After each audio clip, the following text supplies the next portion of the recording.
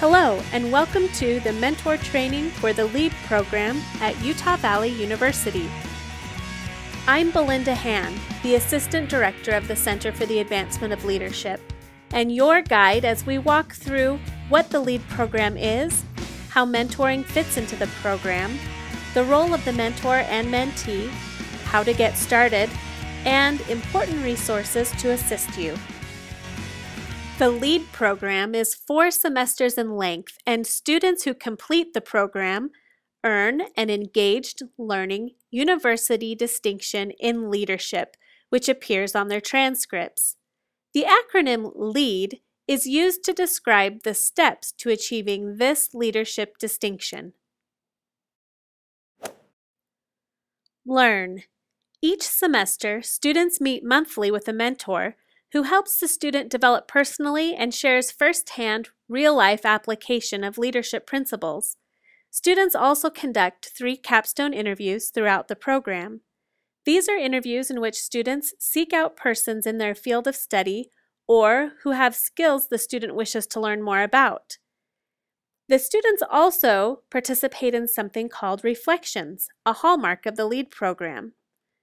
Students are given the opportunity to take a concept, principle, or idea gleaned from their various experiences, and they write a reflection on not only what they learned, but how they're going to apply this new knowledge. Engage. Students are tasked with completing 50 followership hours during each of their first two semesters. This allows students to apply the knowledge they are learning in classes, books, mentor meetings, and workshops. It also allows them time to establish networks for the leadership experiences they will complete during their third and fourth semesters. During a student's third and fourth semester in the program, they are tasked with finding a leadership experience in which they take an active leadership role. These students also complete 50 hours of experience during each of their third and fourth semesters. Acquire. Students complete six hours of theory each semester. This entails attending our departmental lecture series called Mastermind, as well as reading leadership based books and attending leadership focused workshops and trainings. LEAD program students also complete one leadership focused course each semester. And discover.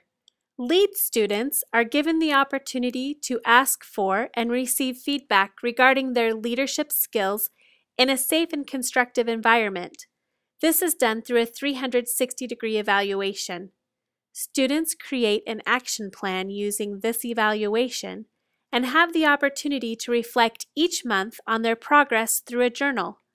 We encourage you, as mentors, to ask them about their 360 degree action plan and how you can help them complete goals they have made. The Center for the Advancement of Leadership believes the mentoring relationship should benefit both the mentor and mentee through reciprocity, learning, building of a positive relationship, creating a partnership, collaboration, mutually defined goals, and personal development. This model replaces the sage on the stage mentality with one of placing the mentee in the driver's seat. For more information regarding this model, please refer to the article at the end of your handbook entitled Mentee in the Driver's Seat. At this point, you might be saying to yourself, okay, this sounds great, but what is expected at mentor meetings? And what do mentor meetings look like? Well, to fill the requirements for the engaged learning distinction, students must meet with their mentor during the months of September, October, November, January, February, and March, and each meeting must last for at least an hour. At these meetings, mentees are expected to discuss personal development topics with a leadership emphasis. Many mentors send their mentee home with an assignment regarding the topics being discussed. Then the mentee is expected to return to the next mentor meeting with the assignment completed. A list of suggested topics can be found in your mentor handbook. The first mentor meeting is the hardest. Here are a few recommendations. Get to know each other. Discuss topics for future mentor meetings. Discuss what each of you expect this relationship to look like. Set goals for the year. Exchange contact information. And decide what to do if one or the other cannot make it to an established meeting. Set up a time, date, place, and topic for your next meeting. Decide what you both want to have prepared for your next meeting.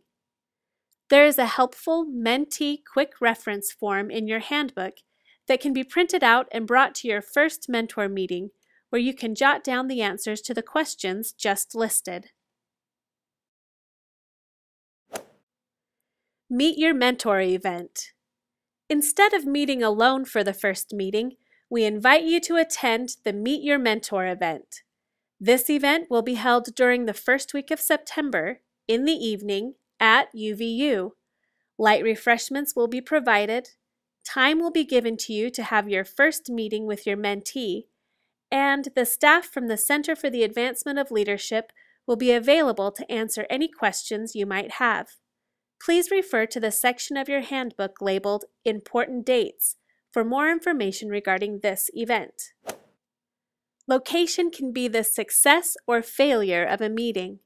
We recommend always meeting in a public place, such as your place of employment, on campus at UVU, at a restaurant, at the library, or in your home when other members of your family are home. Ending celebration.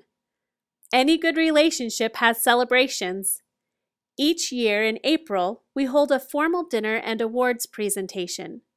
The focus of this celebration is on the mentee as they receive different awards and certifications. However, we also take a minute to recognize our mentors. We invite you and encourage you to attend this celebration with your mentee.